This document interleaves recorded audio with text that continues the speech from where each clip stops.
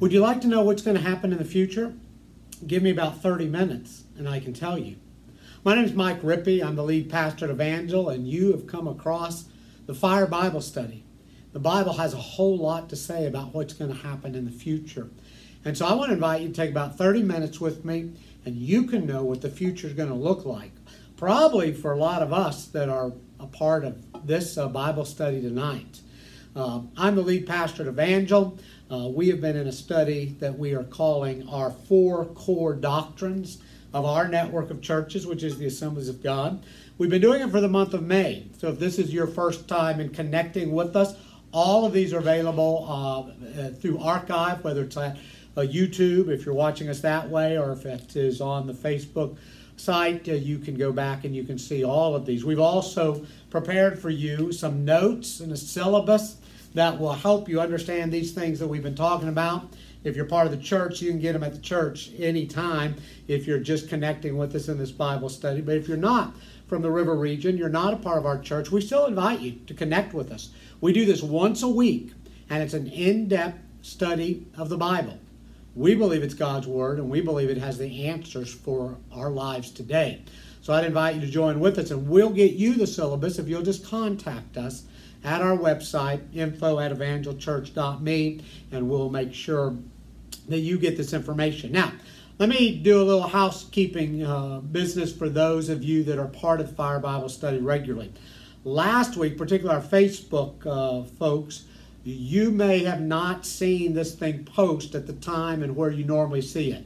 There was a technical glitch, and somehow last week's uh, teaching, which was on healing, and I want to promise you, you want to hear that teaching, it was posted to a subgroup. So unless you were a member of that subgroup in Evangel Church, you wouldn't have seen it as soon as we could. We began to share it uh, to the main uh, pages and those kinds of things. But if you never saw it and you thought something happened that you missed it or we dropped the ball, which we kind of did a little bit, um, it is available uh, on our archives, and you can go back and see that. It's the third lesson of these core doctrines that we've been going through in May. We're concluding this uh, study tonight of our four core doctrines. Remember, the first three are Jesus saves, Jesus baptizes us with the Holy Spirit, and Jesus heals. And we're going to go through the fourth one here in just a moment. But the second part of our housekeeping business for tonight. Next week begins summertime. Be our first study in June. And I know since you couldn't take vacations uh, last uh, summer, a lot of us, you know, were quarantined or it wasn't safe to travel. You couldn't travel, couldn't get on an airplane, couldn't, you know, go uh, find hotels, couldn't uh, take a cruise, whatever you like to do uh, for family fun. Um, I think a lot of us are going to be doing that this summer. And so what I did is I prepared all the lessons for the entire summer because we're going to go through the Old Testament. You do not want to miss it because you truly can't understand the New Testament, which is who we are, New Testament believers, unless you have a great understanding of the Old Testament. Those are going to be available at Evangel this coming Sunday. It's Memorial Day weekend. Again, if you're not able to be with us, you can contact church. Uh, we can email lessons to you. Uh, we can get them to you um, however it will work best for you. But they'll all be available. That way you'll have them. You don't have to worry, oh, I missed a Sunday, so I didn't get the lesson. You'll have it June, July, and August. So I've worked all the lessons, put them down on paper. They're ready to go. I haven't videoed them yet, but they're ready to go. So please take advantage of that. Pick those up. Share them with some folks that really want to understand the Old Testament. How does it apply today? Does it apply today? How important is it? It's going to be a great study as I've outlined all of these studies. I think there's 13 or 14 of them to carry us through the entirety of the summer. It is some great stuff. I love preparing it, and I'm looking forward to teaching it to you each and every Wednesday night. So, uh, that's uh, that's the business we need to take care of. Let's jump right into it tonight. Your future, my future. What does the Bible have to say about it? Well, this is the fourth of our core doctrines. Those things that uh, at the very beginning, within a couple of years of our network of churches coming together, uh, the leadership met together and said, What are the things that hold us uh, like glue as one? Because we are in different parts of the country, so there's regional differences in, in our churches, even the way we worship. There's differences in the same town with different churches, how they worship. One might be more, let's say, you know, uh, quartet country gospel. The other might be very, very contemporary. One might be more traditional. One might be, you know, right on the cutting edge.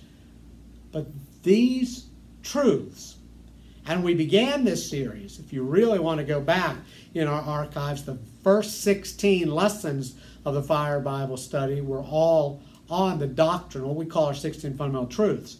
But there are four that we've highlighted in the month of May Jesus saves, Jesus baptizes in the Holy Spirit, and Jesus heals. And so tonight, we're going to talk about Jesus is coming again, the rapture, the second coming. So let's ask the question as we start tonight why study prophecy? Why do we study prophecy? Well, first reason, and some of this is not in your notes, but the first reason is simply this, and it is that prophecy proves to us the authority of God's Word. Do you realize that the other great major religions and their books, whatever it is, the Quran, um, the Pearl of Great Price uh, for Mormons, whatever their sacred literature is, it doesn't contain prophecy. You might say, why? Well, if they had written down prophetic things to come and they didn't happen, out of business. That, uh, that religion, that ism, is done. It's over. But the Bible that we study, and the Bible that we uh, allow to lead our lives and to guide us. It's full of prophecy. So many of them have already come true because the Old Testament was just chocked full of prophecy, and Jesus fulfilled those to the letter. So, the first reason is simply that it proves the authority of God's Word. It's an important reason for us to look at, at prophecy. As a matter of fact, one mathematician put pen to paper, a lot smarter than yours truly, and figured out what was the probability of one individual, that being Jesus, to fulfill all of the prophecies that were spoken of him in the Old Testament, hundreds and literally thousands of years before Jesus showed up. And do you know what that was? It was one in 87. Oh, that's a lot. But then add 93 zeros. I, I don't even know what that number is. But that's, that's the probability of one person which was Jesus Christ. It's another great reason to believe in Jesus. To fulfill all those prophecies that were spoken of in the Old Testament, and he did fulfill all those. One, the number 87, and then take some time count them out. 93 zeros, 93 zeros. That's the probability. That proves that your scripture is true and accurate. Prophecy was given to reveal the power and the wisdom of God and really, really does that. Prophecy reveals the purposes of God. And I, am not going to teach all this. At some point, we'll look at prophecy, but these are just these are just reasons that we study prophecy. Prophecy, fourth, was designed by God to bring peace and assurance to believers. And I promise you it does that. Because when you read all the prophecies, when you read, like we're going to talk about tonight, what's going to happen to us in light of what is going on in the world now and what will go on in the world, peace, peace, wonderful peace. That's what we get from prophecy because we know what's going to happen and we know where our place is in what is going to happen. The, the fifth reason is that God's great purpose in revealing prophecy to his children is to produce a holy life. It's a catalyst. It's not that it drives us by the emotion fear, but it's a catalyst for us to live a holy life. A matter of fact, can I tell you, if you study church history throughout the ages, whenever the church has de emphasized prophecy, or for the New Testament, 2021 years, if you would, of, of the church in the New Testament till right now, Anytime it de emphasized prophecy, which is Jesus is coming again, that hasn't happened yet. That's prophecy that we're studying tonight. Whenever they've de emphasized holiness, the church has begun to stray from its original purpose to tell the entire world about Jesus, to live a life that is different than this world, to let our light shine to this world that we live in. So prophecy is extremely important. And the sixth reason is it gives that sense of urgency for the believer because we believe that Jesus could come at any time. And so my neighbors need to know and receive the love of Jesus. My family needs to know and receive the love of Jesus. That's why we study prophecy. So tonight, Jesus is coming again. What is that called? It's called the blessed hope. It's the resurrection of those that are alive. So that's what I say. It could happen, and we'd be a part of it. Like right now, before I finish this teaching. As a matter of fact, if I exit this room and that camera's still going, at the end of this, I'm going to tell you what to do if you miss the rapture, all right? So don't even worry about that. We'll help you there. But here's, here's my advice don't miss the rapture. Here's our actual doctrinal statement. The resurrection of those who have fallen asleep in Christ and their translation together with those. So, those who have died, our parents, grandparents, great grandparents that knew Jesus as Lord and Savior, those of us that are followers of Jesus, those that are alive, and those that, as the uh, terms would have been used back over 100 years ago, fallen asleep, have died in Christ, together with those who are alive and remain at the coming of the Lord is the imminent and blessed hope of the church. First Thessalonians chapter 4, verses 16 and 17. For the Lord himself will come down from heaven with a loud command, with the voice of the archangel, and with the trumpet call of God. And the dead in Christ will rise first. So those who have died, that's all of our family that has passed away that knew Jesus. After that, we who are still alive and are left will be caught up together with them in the clouds to meet the Lord in the air, and so we will be with the Lord forever. So, let's take a look, an outline, if you would, of those things yet to come.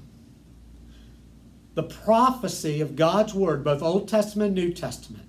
So much of the Old Testament was fulfilled in, in Christ, but much of the Old Testament prophecy will be fulfilled fully in Christ's second return and the end of the ages. And that's true for the New Testament too.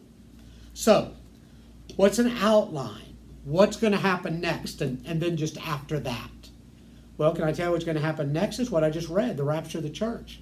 There's nothing else that has to happen till there'll be that command, that loud shout, that trumpet sound and those that have passed away, they will rise first. And then we which are alive and remain will be caught up together with those. That's the next event that's going to happen. And that's not to cause you to be fearful. Oh, that's a wonderful hope for us. So that's the next thing that's going to happen. The second thing is that we believers that are caught up together, there will be a couple events that take place in heaven. And that will be that we will come into Christ's presence at that time. There'll be what's called the judgment seat of Christ. That's not whether we make it to heaven or not, we've already made it. That is one of our obedience and our surrender since we have been saved. Did we do God's will? The second thing that'll take place is going to be a big party with calorie free everything. It is going to be wonderful. And the Bible calls that the marriage supper of the Lamb. Now, while that's going on up here, if you would, down here, because up here, there's, there's no time, no sense of, of, of, you know, 9 o'clock, 10 o'clock, 11 o'clock, tomorrow, next day. But down here on earth, because we've been raptured out of here, there will be seven years of tribulation going on. So you can say there'll be seven years of this judgment seat of Christ and, and the marriage supper of the Lamb, but that, that's only in terms of what's going on down here. But the tribulation will be taking place. And during those seven years, you don't want to be here on earth. And that's why at the close of this, I'm going to give you just real quick my recommendations if for some reason you're not right with Jesus and you do not make the rapture. What's going on down here is the rise of the power of the Antichrist. Who knows, could be happening right now the advent of a false prophet, someone will come on the world scene and, and just begin to prophesy what's going to happen. It'll be a false prophet There's going to be the seal judgments, which are just horrible things going on during the tribulation. There's going to be the trumpet judgments, which ratchet it up one more time. There's going to be the appearances of the two witnesses. There's going to be the vial judgments, V I A L, a vial, like you would pour out. Its judgments multiplied to a third degree. There's going to be the fall, if you would, what the scripture calls Babylon, which is just the earthly kingdoms, that one world kingdom of this world. And there's going to be the preparation for the battle of Armageddon that's going to take place here on this planet. The war to end all wars. And then at that time, because that will begin to take place as the seven years of tribulation come to a close, then will be the second coming of Christ. See, in the blessed hope, he doesn't come and put his feet on earth. He is in the air, in the clouds, and that's where we meet him there. But then seven years later, the second coming of Christ, where he comes down, he lands in what we know as, as the Holy Land today. Satan, those that have followed him, are thrown in a bottomless pit. Then at some point, the millennial reign begins to take place after he's been thrown in that bottomless pit which is really what I like to call heaven on earth. It's the best that my mind can get around something that's just hard to comprehend. All the wonder and beauty and majesty of this planet without the sin, without the corruption, without the vice greed. All of that. It's going to go on for a thousand years. And you know, those of us that are followers of Jesus, we're, we're going to reign with Jesus. We're going to rule with Jesus. I, I, like to say I've asked for the Hawaii Isles. I'll I'll oversee that. You you can have whatever you want. Take take Mississippi, take Arizona, take whatever you. I'll take I'll take that. If I don't get the the, the Hawaii Isles, I, I do love the mountains of North Carolina. Just just a little piece of that. But we're going to rule and reign for that thousand of years, and then there is going to be the great white throne judgment because even those that died, they're going to have an opportunity to stand before God at that judgment seat. And they will not go into a Christless eternity, which is hell, without understanding that it was a just decision based upon the choices they made in life. Then there's the new heaven and earth, and then there's eternity. So the rapture of the church is the next great event 1 Thessalonians chapter 4 I would not have you to be ignorant, brethren, concerning them which are asleep, those that have died. He said, I want you to, because they were expecting Jesus to come back at any time. And then when some of the people in the church begin to die, they, they didn't understand it. So the Apostle Paul wrote to the church this letter to the church at Thessalonica. And then it was shared to all the churches. He wanted them to be comforted with this bit of prophecy. So I don't want you to be ignorant, ignorant, brothers and sisters, family at the church, concerning those which are asleep, which means they've died. That you sorrow not even as others that have no hope, because they've died, and you think, well, they have no hope. They're not going to go to heaven because only those are alive when Jesus comes back. That was their mindset. For if we believe that Jesus died and rose again, even so them also which are asleep in Jesus or have died in Jesus will God bring with him. For this we say unto you by the word of the Lord, that we which are alive and remain unto the coming of the Lord shall not prevent them which are asleep. And then the verses I read earlier, for the Lord himself shall descend from heaven with a shout, a voice of trump.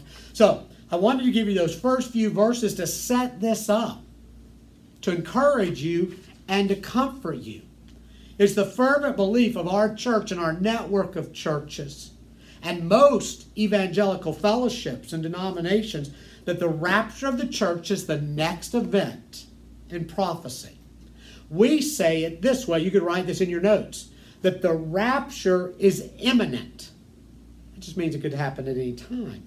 It's the next thing that's going to occur. Now, let, let me just address, since this is a Bible study that we are uh, not going to skip any questions and other ideas, even concerning Scripture. There are three basic beliefs regarding the timing of the rapture.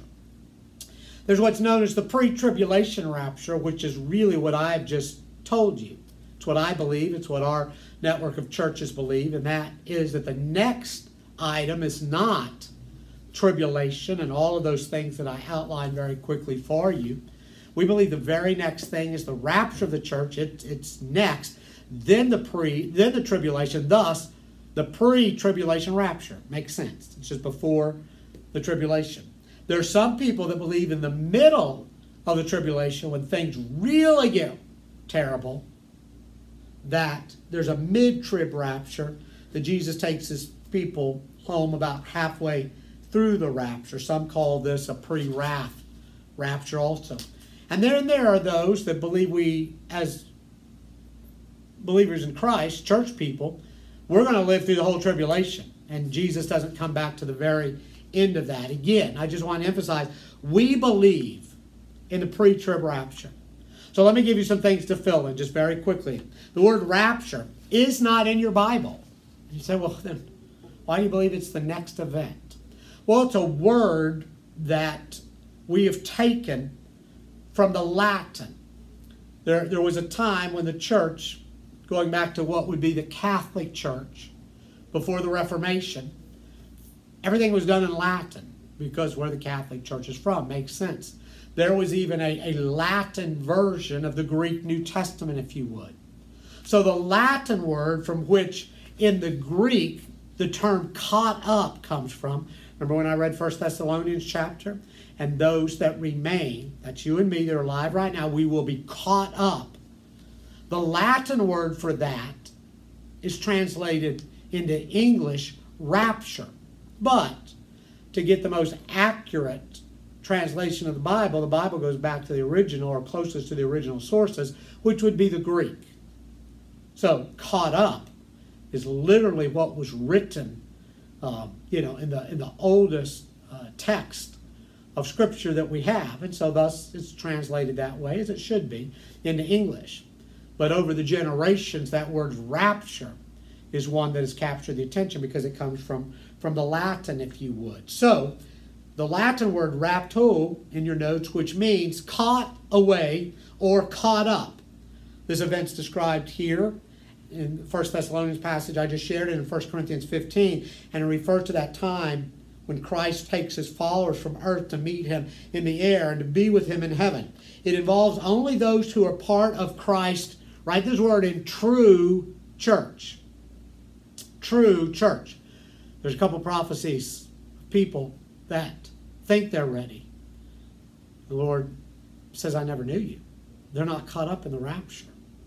Two are walking in the field, and one is taken and one is left. Even says two are sleeping in a bed, and one is taken and one is left. The one that is taken in the field and in the bed are true Christians. So again, it's a catalyst for us to live the kind of life that we should. So, it's a part of Christ's true church, his faithful followers worldwide who are in a right relationship with him. Number one, just prior, there's your fill in, just prior to the rapture, as Christ is ascending from heaven for his church, the resurrection of the dead in Christ will occur. 1 Thessalonians 4.16, the Lord again will come down from heaven with a loud command, with the voice of the archangel, with the trump of God, and the dead in Christ those previous versions I read were like King James, that was those that have fallen asleep. It's dead in Christ. This is not, write a big NOT in your notes, the same resurrection which is an event occurring after Christ's return to earth to destroy the forces of Antichrist and confine Satan to the bottomless pit. That's the second coming of Christ, and we will be returning with Christ in that great battle that is the second coming.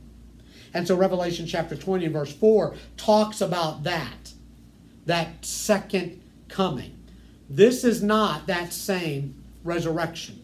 Next paragraph, the resurrection in Revelation 20, verse 4, that you just saw relates to those who turned to Christ and died for their faith in Him during the tribulation. So they will be raptured also those that don't take the mark. It's going to be tough. But evidently, according to Scripture, there will be some that are not raptured that realize what's happened. And at great, great suffering, many of them will even, even die for the cause of Christ. I like to say it this way if you can't live for Christ now, how will you live for Him in the rapture? Because you're probably going to die for Christ then. But those that have died for Christ during that tribulation time period, there will be a resurrection for them. So, the resurrection in Revelation 24 relates to those who turned to Christ, died for their faith in Him during the resurrection. Number two, at the same time as the death and dead in Christ rise, followers of Christ who are alive and on earth will be transformed, their bodies becoming, write this word down, it's a big word, imperishable. See, this body perishes. I, I get nicked and, and, and bumped and bruised. And I, I, I look like a I, I look like a banana right now. I got a lot of bruises on my arm because th- this body at 61 years of age, I can tell it's getting older and it's going to perish at some point. This body is going to become imperishable, and so will yours, and immortal. This will happen in an instant. The Bible says, in the twinkling of an eye. The word is antonom, oh, a, a measure of time that cannot be divided, like an atom, you know. It cannot, if you would, be divided. 1 Corinthians chapter 15. Listen, I tell you mystery. We will not all sleep, that are those that have died in Christ, but we will all be changed in a flash, in the twinkling of an eye, at the trumpet. For the trumpet will sound, the dead will be raised imperishable, and will be changed. We will be raised as alive and transformed, caught up, if you would, and transformed, imperishable and immortal. Number three, both the resurrected Christians and those who are instantly transformed will be caught up. That's you and me together. Write that word together. The Bible's all about togetherness to meet Christ in the air, in the atmosphere between earth and heaven. Number four, they will be visibly united with Christ, taken to heaven, and reunited with loved ones who have died knowing Christ. That's the, that's the first time really we'll see those uh, that have gone to eternity when we're caught up together. It's going to be an amazing, amazing experience. Number five, they will be removed from all suffering. I'll write that word in, star it. All distress, all persecution and oppression, from the entire realm of sin and from death. The rapture also rescues Write that word in. Jesus' followers from the coming wrath, that great tribulation. We just believe it's in God's character. Do you remember all the way back in the Old Testament? Matter of fact, we'll um, study this as a picture, as a beautiful symbol. The ark, Noah's family, that great tribulation, that great wrath that was coming when God looked at the earth. He was going to wipe it out.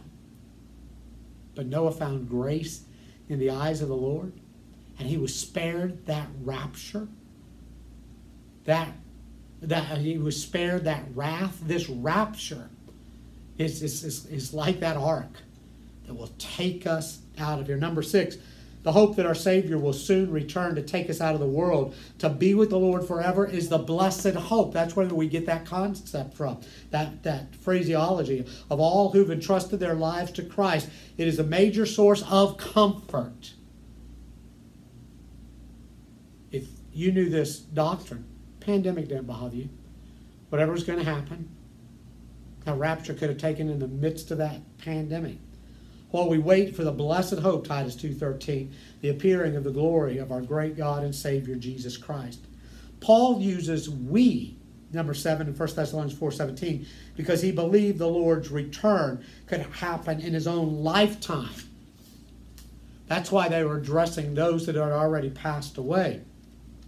And this same sense of urgency write that word in your notes and anticipation in thessalonians the Bible insists that Christ followers in all time periods must remain alert and ready for the Lord's return. That's that catalyst. That's that motivation. Sharing our faith, living uh, the right way, because Jesus could come back at any time. Number eight, those who claim to be Christians and part of the church yet are unfaithful to Christ and do not truly have a personal saving here. Write this word down relationship you can go to church all you want. You can work all you want. Jesus wants a relationship with you. The Father wants a relationship with you, and it's only found through Jesus. So, a personal saving relationship with the Lord, they'll be left behind if you don't have that. Only a false, write that word down, system of religion and will experience God's wrath. So, those that will be left behind, they will be left with only a false system of religion. There's going to be a phony religion going on when the church is taken out of here. They're going to experience God's wrath during the tribulation period. Following the rapture is the day of the Lord. That's your last fill in. Referring to a time that brings distress and judgment to the ungodly. That's day of the Lord, is another term for the great tribulation. And again, that'll be followed by what some call the second stage of Christ coming. The first stage is when he takes us up in the blessed hope, the rapture. And he returns literally to earth at the end of the tribulation to defeat the forces of the Antichrist, destroy the ungodly, and reign on earth for a thousand years at the end of time as we know it. And then there will be a new heaven and a new earth after that thousand years. So let me end with this because this is of great, great comfort.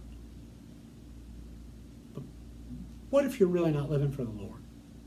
Or what if you say, Pastor Mike, oh, some of my family's not, but they've heard me witness. They've they've they've turned down me inviting them to know Jesus or to come to church. And if, if I just vanish, they're, they're gonna they're gonna look for the real answer. What hope do they have? Well, someplace on your notes, just write a few of these these these thoughts down. One I would simply say because there's just a a rash of this right now. Don't commit suicide. Don't. That is not the answer. It is not the answer. Stay calm if you've missed the rapture.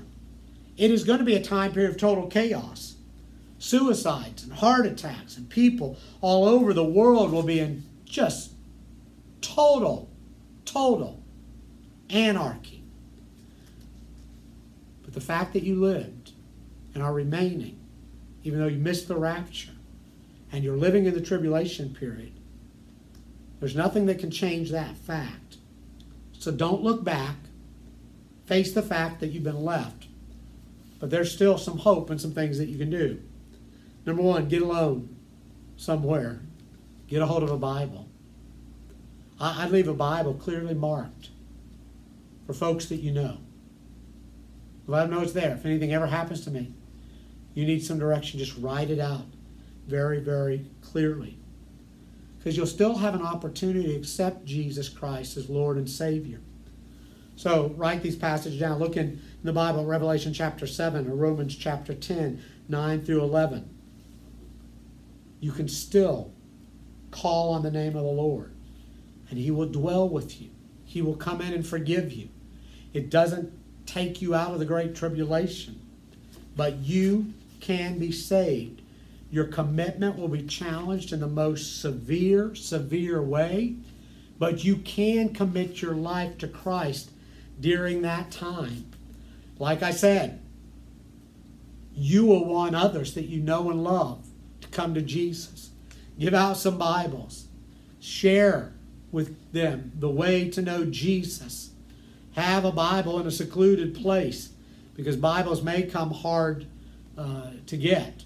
Memorize the Bible. Be, beware of the world dictator, whatever form that takes, and what he has to say. Just be cautious. Don't, don't follow everything that he says we need to be careful. We need to be cautious. Don't accept the mark of the beast. Don't accept it. And I believe they'll deceive people to try and get it. I personally would stay away from the Middle East. I just personally would. Or if anything, if they'll let you go, go join the Israeli army. Because at the end of time, as the whole world comes against Israel, which is really what the Battle of Armageddon is all about. Jesus going to come back and save that army. It may be a safer place to be, but I, I would not head to the Middle East to wait for Christ. I, I, I just wouldn't. Now that's that's just your pastor talking. Stay in the Word and in the place of prayer. And know that whatever the price, eternity with Jesus is worth it. Because my advice is very, very clear. Don't miss the rapture. Matthew chapter 24 and verse 42 in your outline. Therefore, keep watch, because you do not know on what day your Lord will come. Listen to me. I've lived through a season of Christianity when the concept of Jesus' soon return was heightened to an incredible, incredible degree. In the early 70s, as the Israeli Arab uh, boycott was taking place and all the world's attention was faced upon the Middle East for the first time in a long time. Boy, Christians begin to write about it, begin to say Jesus is coming back at any time. As we came about uh, to the 80s, oh my word, they were saying Jesus was coming back at any time. When we got to 88, oh my word. Why? It had been 40 years since the nation of Israel was founded. And uh, there's a scripture that references about a generation. Well, they believe 40 years was a generation. A book simply titled 88 Reasons Jesus is Coming Back um, in 1988, in September, during the Feast of, of Trumpets, if you would. Oh my. And I, I just had to calm the, the uh, anxiety, fears, buy in of the church that I was pastoring at that time because I, I think the scripture is clear that no man knows the day or hour, and you go saying it's going to be in the Feast of Trumpets 1988, then you're, you're predicting. And I just said that that's not right. And I took a lot of flack for it. I was a young preacher, very young. But I just trust God's word. Well, lo and behold, by October, Jesus hadn't come back. And the guy had the audacity to go back and say, I misfigured by a year and this calendar, that calendar. It's really 89. So now I've got 89 reasons Jesus coming back and he didn't come back. 2000, oh yeah, boy, that was a big one. 2007, that was huge. Jesus is coming back. And here's what I'm afraid ha- happen to many people, and some of you, some of our friends. Because Jesus didn't come back in the 70s, or 1980, or 88, 89, 2000, 2007. They just don't think his return is imminent. Please don't fall for that. Don't live your life afraid. Live your life passionate and purposeful. Live today, kind of in the concept of if you had 30 days to live, which is an interesting concept. What would be most important? How would you live your life? When you believe in the imminent return of Christ, you live your life in that regard. That doesn't mean we don't plan and save for the future, all those kind. Of, that's not what I'm saying. But I'm just saying, with an urgency to share the love of Jesus, as the Holy Spirit gives you opportunity with a passion to serve Jesus to the best of your ability in the power of the Holy Spirit, the right way, which is a holy way. Live that way for Jesus. Because the blessed hope, Jesus is coming again, is the next thing on the prophetic calendar. It could happen at any time. The church used to pray, even so, Lord Jesus, come quickly a lot of the church around the world prays that now because, boy, they're going through what we would say is tribulation even now. And we sometimes, in our comfort, we don't pray that like our forefathers and mothers did. It still ought to be on our heart, it ought to be our attitude. Even so, Lord Jesus, come quickly. I'm sharing your word, I'm witnessing, I'm living a whole life. I'm ready. That's my prayer for you.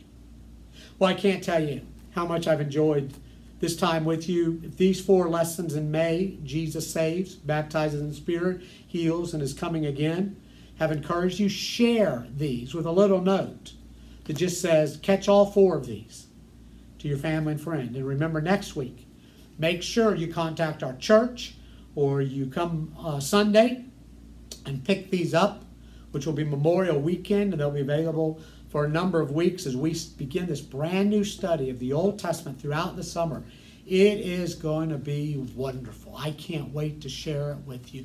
So, like uh, this uh, uh, teaching, share this teaching. Can't wait to be with you again next week. God bless. See you soon.